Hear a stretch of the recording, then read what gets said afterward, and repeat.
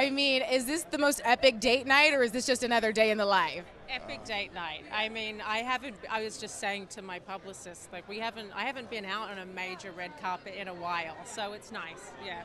You guys look stunning together. Um, I want to talk to you a little bit about the Arthur Ashe Courage Award. Of course, you're a part of uh, the the presentation video, from what I understand, for Vitali, correct? Yes. Uh, I mean, I, I had no idea. I wasn't thinking about this.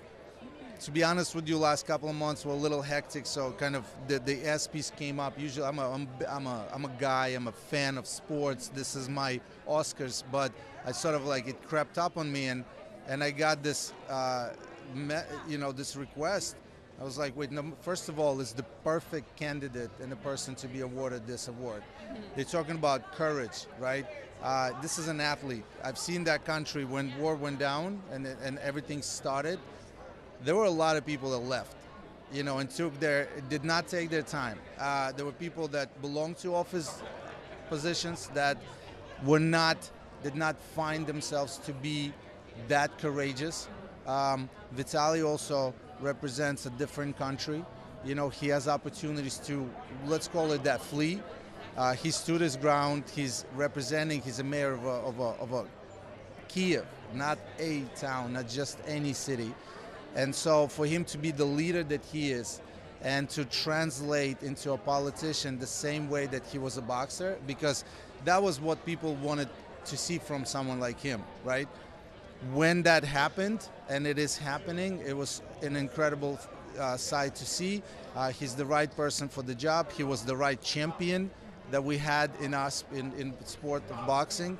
And um, again, I'm getting goosebumps, but I, I feel like it's the right person. Absolutely. And uh, you obviously documented um, your journey to leaving Ukraine, getting to Poland. Um, I'm curious to know what would you say to the folks listening at home as this continues to develop? This is a situation that is still very much as dire as it was when it first started breaking news. What do you hope people understanding from the comfort and safety of their homes about what's happening in Ukraine? Uh, someone somewhere is paying for our comfort and safety, and I think that that the the Ukraine and what it's representing, you know, is. Uh, you know, 100 years from now is going to be a historic event that represented something.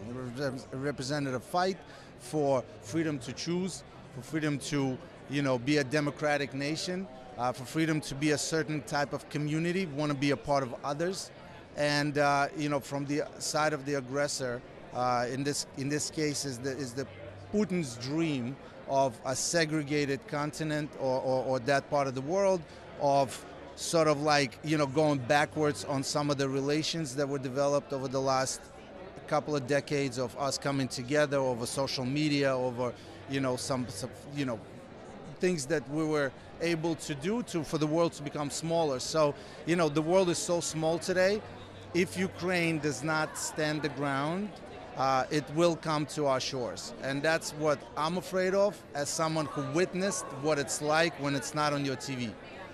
So that's, you know, there's nothing more for me to say other than this because it is live going on somewhere right now.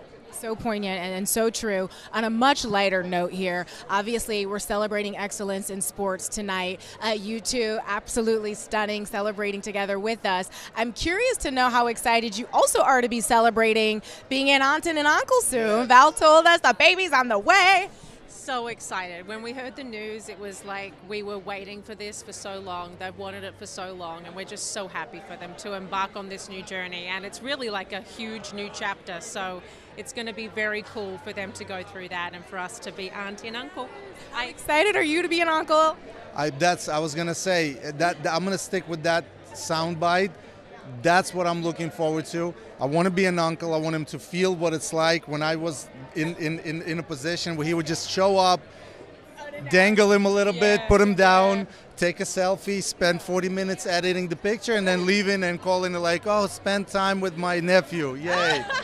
I'm, I can't wait. So calling him out right now. I'm gonna call him out. Call him out. That's brotherly love. I've got two brothers, and I live to call him out. Uh, we got to get into your fashion really quickly here. Break down this stunning dress for me. What was the inspiration? Because you are looking so divine. Um, thank you so much. I honestly never thought because I was on Dancing with the Stars for so long, like we always wear sequins, and I, this was not my first choice. But no, no, I mean it was my first choice when I put it on. But when I looked at the rack, I was like, oh no, I'm not doing sequins.